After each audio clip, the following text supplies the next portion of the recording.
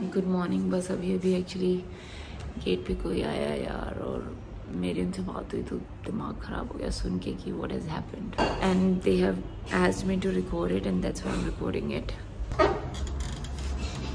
आप थोड़ा सा ब्रीफली बता दो क्या हुआ है। Guys this is not a regular vlog ये एक uh, ऐसा वीडियो है जहाँ मैं चाहता हूँ कि इसकी मैक्सिमम रीच हो। प्लीज़ इस वीडियो को आप लोग शेयर करो जब पूरा देख लेंगे आपको पता चलेगा कि मैं ऐसा क्यों बोल रहा हूँ क्योंकि ये आजकल बहुत ही ज़्यादा चलन में है। दो लड़कियाँ थी जो हमारी जानकार थी मतलब इमीडिएट जानकार तो नहीं बट किसी के किसी के थ्रू जानकार हो गई and they came to meet us I was sleeping मुझे नहीं पता था। ऋतु ने डोर खोला एंड ऋतु ने उनसे बात की एंड जब बात करके मुझे भी बताया तो आई वॉज़ ऑल्सो शॉक्ड कोई तो उनका फ्रेंड बन गया यूके में एंड पहले आप ये स्टोरी देखो। मेरा पांडे है। मेरे साथ बत्तीस लाख रुपए का फ्रॉड हुआ है। यूके से किसी ने मुझे मैसेज किया था मेरे फ्रेंड ने। मेरी थोड़ी दिन तक बात हुई, उससे उसने बोला एड्रेस दो। मैंने उसको अपना एड्रेस दिया। देन उसने गिफ्ट भेजे एयरपोर्ट पे, फिर उसके बाद से वहाँ से मेरे साथ फ्रॉड होना शुरू हो गया। फ्रॉड कैसे हुआ उसके बाद आपके बाद साथ? उन्होंने बोला कि यहाँ पे आपका पैकेज आ गया है आपको कस्टम ड्यूटी पे करनी पड़नी कर, करनी पड़ेगी आपको टैक्स पे करना पड़ेगा आरबीआई को देना पड़ेगा ये सब फॉर्मेलिटी सारी ड्यूटीज़ पे करनी पड़ेगी उसको देते देते मैंने लोन लिया निफाल से ग्रेजुअली उनकी अपना पैसा लगाया अपनी सेविंग लगाई मैंने बत्तीस लाख रुपए वेस्ट कर दिया अपने। लेकिन जैसे अगर बच्चे उन्होंने टैक्स वगैरह अगर दिया लिया भी उसके बाद what did he try to do वो जो आप कह रहे थे कि पैसे उन्होंने चिपकाए हुए थे उसमें। हाँ उन्होंने बोला कि इस आपके पैकेट में करेंसी भी है यूके की।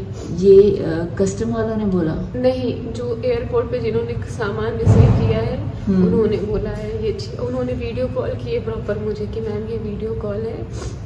अब अपना सामान देख लीजिए। उन्होंने सामान दिखाया लेकिन करेंसी बाद में दिखाई उन्होंने मुझे। कि मैम ये करेंसी भी है।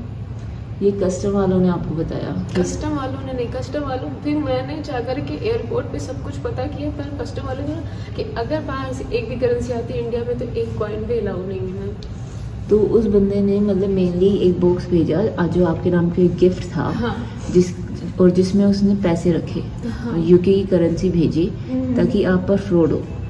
और इसलिए आपने उसको पैसे दिए। लेकिन आपने उसको पैसे क्यों दिए? आपको आपको कस्टम को देना चाहिए था। अगर कस्टम आप पे केस कर रहा था तो आपने कस्टम को क्यों नहीं दिया? कस्टम को क्यों नहीं दिया? एयरपोर्ट को क्यों नहीं दिया? वही तो मैम वो बोला मैं एयरपोर्ट से ही बोल रहा हूँ। अच्छा तो आपने किसी का फ़ोन आया आपके हाँ, पास? मैं एयरपोर्ट से ही हूँ मैम वीडियो कॉल रिसीव करिए मेरी। तो मैंने वीडियो कॉल रिसीव की उन्होंने पैकेज दिखाया मैम ये आपका पैकेज रखा हुआ है। मैंने कहा ठीक है क्या लेकिन मैम पच्चीस किलो का है। मैंने देखा उस पर वीडियो में पच्चीस किलो का यार वो तो फिर वो असली में वो एयरपोर्ट से कॉल थोड़ी ना थी। वो तो कॉल उस बंदे की साइड से ही थी। यस मैम उससे बहुत बड़ी गलती हो गई मैम। तो उसके बाद आपने पैसे ट्रांसफ़र किए उसको? हाँ मैम उन्होंने बोला कस्टम ड्यूटी पे करिए आपका पैकेज बाहर से इसलिए ज़्यादा लगे। मैंने बोला कितना बोला छब्बीस हज़ार रुपये तो मैंने कहा चलो ठीक है। बाद में बोला उन्होंने कि इसमें करेंसी भी चुकी हुई है चालीस हज़ार पाउंड स्टर्लिंग फिर मैंने मुझे आइडिया नहीं था कि इसका कितना होता है इंडियन रुपीज़ के अकॉर्डिंग तो उन्होंने बोला चालीस लाख सत्ताईस हज़ार रुपये होते हैं। तो इस तरह इस तरह करके फिर मैंने बोला कि इसमें मनी लॉन्ड्रिंग का केस बन जाएगा मैम आपको और पे करना पड़ेगा। मैम मेरे पास सारे सर्टिफिकेट हैं उन लोगों तो को यार अगर बना बना के देते बेटा वो सब लेकिन बेटा अगर मनी लॉन्ड्री का केस बनेगा तो let the government send you the case के डॉक्यूमेंट्स ना आप किसी को वो वीडियो कॉल करके। How can you even believe बच्चे कि भाई वो ये है?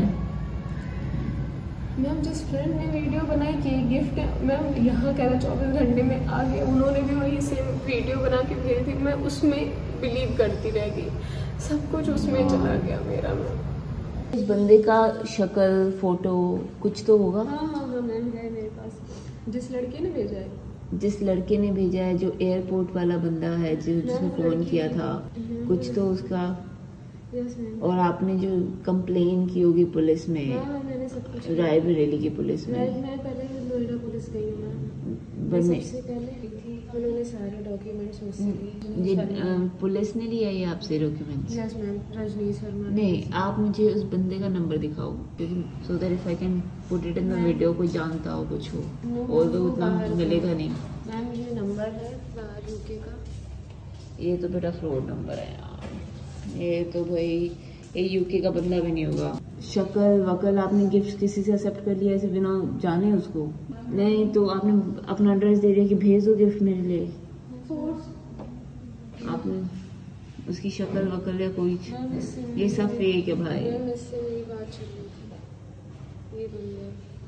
यार, ये सब फेक है। ये तो बंदा भी नहीं होगा ये। इस वक्त मेरा बिल्कुल दिमाग खराब हो गया यार।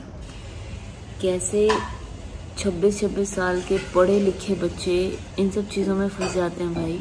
नंबर एक चीज़ चाहे भाई, कुछ भी हो if somebody as you to deposit money चाहे वो किसी, चाहे ब्लैकमेल करके हो, चाहे कुछ भी हो shout man shout shout out to your parents to police कि भाई कोई मुझे इस तरीके से ब्लैकमेल कर रहा है। यार मतलब if the other person make you believe कि आपसे गलती हुई है, आप फंसोगे आप पे मनी लॉन्ड्रिंग लगेगी, भाई reach out to your elders reach out to your police reach out to the services which you have आप खुद कैसे ट्रांसफ़र कर सकते हो भाई? कैसे कर सकते हो? मतलब मेरा तो दिमाग ख़राब हो गया। पढ़े लिखे बच्चे अगर ये कर रहे हैं तो जो बूढ़े हैं, जो और छोटे बच्चे हैं, वो तो फंसेंगे फंसेंगे इन सब फ्रॉड्स में। बत्तीस लाख हम wondering how can you someone even और यार आप किसी को वीडियो कॉल व्हाट्सएप इन सब चीज़ों के थ्रू कैसे ब्लैकमेल होके ये सोच सकते हो कि आपने क्राइम किया है और जो आप पे क्राइम के वो लगा रहा है कि वो सही है। यार, अगर कुछ भी है then everything has to have a legal procedure ना?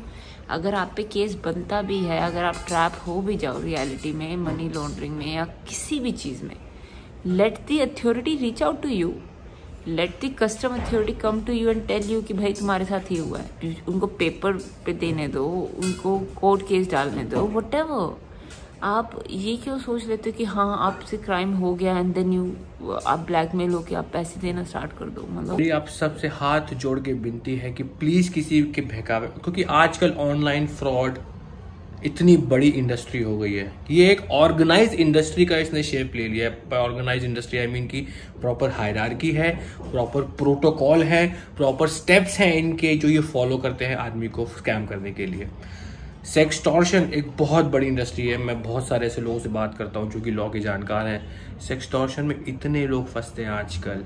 आपको एक वीडियो कॉल आता है, जिसमें सुंदर सी लड़की की डीपी होती है, जैसे ही आप कॉल एक्सेप्ट करते हैं रैंडम कॉल होता है।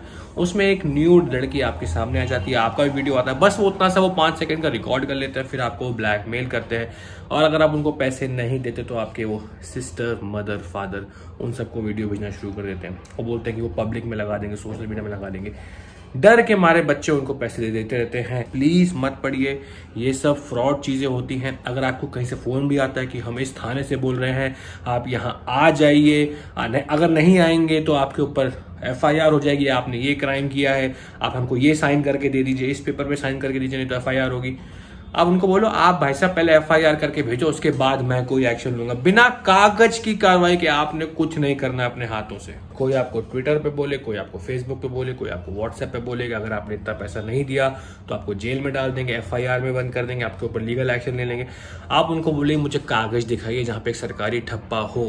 अगर वो होता है तो उसके बाद हम कोई एक्शन लेंगे। मुँह जबानी अगर आपने कोई एक्शन ले लिया, किसी के पास कोई पैसे ट्रांसफ़र कर दिए तो आप हो चुके भाई साहब उस फ्रॉड का शिकार। और ये मैं पर्सनल एक्सपीरियंस से बोल रहा हूँ, जो थोड़ी बहुत मैंने अभी तक की लॉ पढ़ी है, ये बहुत ज़्यादा कॉमन है, बहुत ही ज़्यादा कॉमन है। इमेजिन करो, आपके पास कोई ऐसा फ़ोन आ जाए कि आपके बगल वाले थाने से बोल रहा हूँ।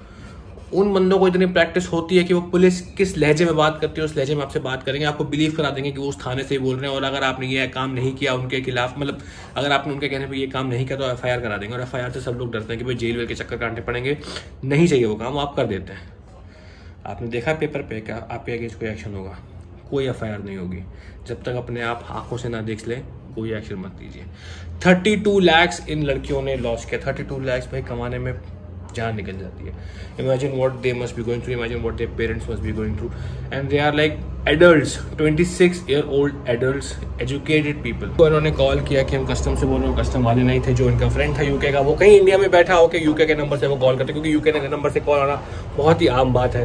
कुछ सॉफ्टवेयर होते हैं उनसे आप नंबर ट्रेस करके वो जैसे होता नहीं है कि कॉल वहाँ रूट होती है वहाँ से फिर अपने को अपने आपके फ़ोन पर रूट होती है। सो so, बिना देखे कि वो एक्चुअली कॉल कस्टम का है कि नहीं है, बिना किसी पेपर वर्क के अगर होता ऐसा कि भाई आपके ऊपर मनी लॉन्ड्रिंग का केस लगने वाला है या उसमें कैश आया तो आपको कस्टम से एक लेटर आता, जिसमें कस्टम अधिकारी का साइन और स्टैम्प होता। और अगर उस पैकेट में कैश होता भी तो आप उसके लिए लाइबल कैसे हो सकते हैं? किसी और ने गिफ्ट भेजा आपके नाम पे, आप कैसे लाइबल हो सकते हैं? थोड़ा सा दिमाग भी लगाया करो। लॉ क्या कहता है? लॉ वही कॉमन सेंस है। अगर आपका कॉमन सेंस कहता है कि आपने वो जुर्म किया है, या आप निर्दोष हैं तो आप वही हैं। उसको प्रूव करना वो लॉयर्स की बात है। वो लॉ की पेचीदा है कि उसको प्रूव कैसे करना है। लेकिन ये काम गलत है या सही है, या आप गलत हो या सही हो, ये कॉमन सेंस से बताया जा सकता है। अगर किसी और ने आपके लिए कोई गिफ्ट भेजा, उसमें कुछ इलीगल सामान है है तो आप कैसे लाइबल हो सकते हो यार? या तो आपने उसको रिटर्न में कंसेंट दियो पहले तो मानता हूँ। बट ऑब्वियसली तो प्लीज़ मेरी आपसे रिक्वेस्ट है कि ये सब बहुत बढ़ रहा है। इसलिए मैं आज एक रेगुलर ब्लॉग काट के ये डाल रहा हूँ। ये बहुत ही ज़रूरी है। एंड इसको शेयर करें मैक्सिमम थैंक यू